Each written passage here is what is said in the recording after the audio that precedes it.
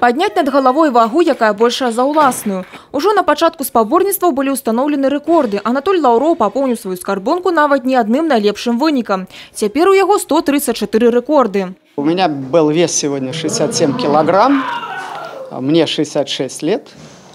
Я в рывке установил рекорд 69 килограмм, поднял, и в толчке рекорд Европы 86 килограмм. Удзел у турніру ўзялі 53 спартсмены з Беларусі, Расіі, Літвы, Польшы, Ізраіля, якія змагаліся ў 10 вагавых катэгорыях. Узрост ад 35 до 80 гадоў. Сярод цяжкаатлетаў і адна удзельніца прыгожага полу, брэстаўчанка Людмила Рыбак. Занимаюсь тяжелой атлетикой не так давно, только, только всего лишь полгода.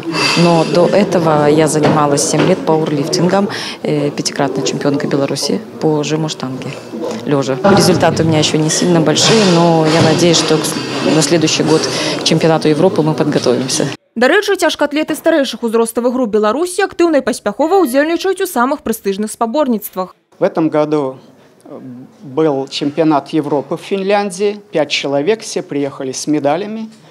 И э, был чемпионат мира в Монреале. И э, у нас команда было четыре человека.